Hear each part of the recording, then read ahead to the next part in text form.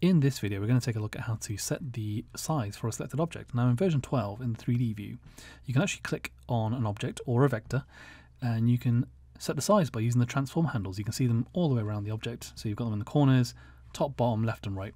And you can drag these out. So if you notice I do it towards the top left because I chose the top left anchor. If I do it to the left, it will of course stretch it to the left. And if I use another anchor, for example the bottom right, it'll stretch it towards the bottom right.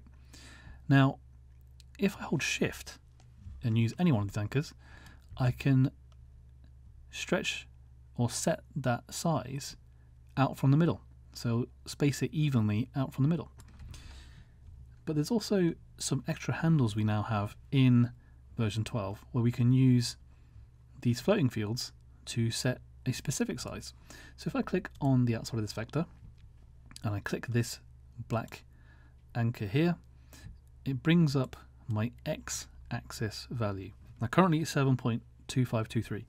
I can enter 8, hit enter, and it scales it in x.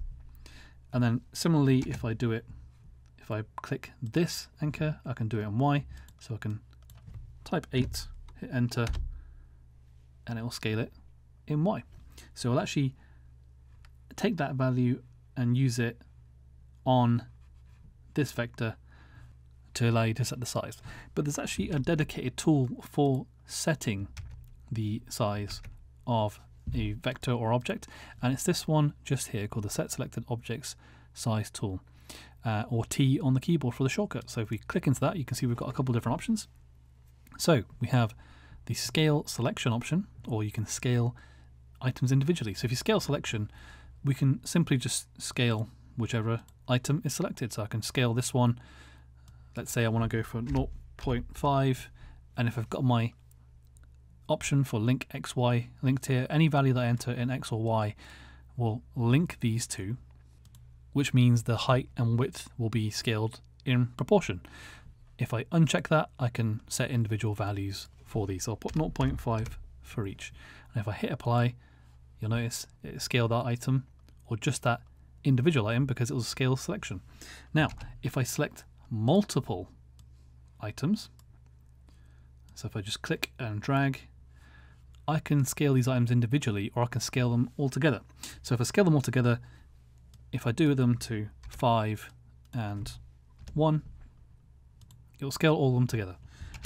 Whereas if I do it individually, it will actually scale each of these items individually. So if I do 0.25 and 0.25, each of these will now be scaled individually in that selection. You've also noticed that I have a job aligned box here. So what is that job aligned box? Well, what I can do here is if I click on that, this is going to scale this to this box around here. You can see I've clicked my object and this is the job aligned box. Now if I rotate this using the rotation handle here, you'll notice I get a rotated bounds. And now what will happen is it will use these new rotated bounds instead to scale that item. And I can also set the anchor from where it scales from. So if we do middle for now, and if we link X and Y and we go for 7, hit apply, it has scaled it in that rotation handle. So let's go for a lower value, and there we are.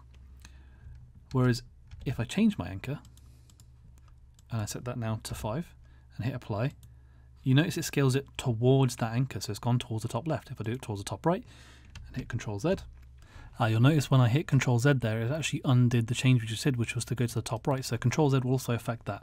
But if we go to top right and we change that to 5 and hit apply, it will scale it towards that top right anchor because that is the anchor that we have selected.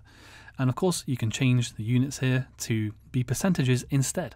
So if you want to scale this down from what it is, which is currently 100% down to 50%, you can do so by entering a percentage value, hit apply, and it'll scale it in the direction of the anchor view set, but also to the percentage that you've set as well. And that covers how to use the set size tool in the software.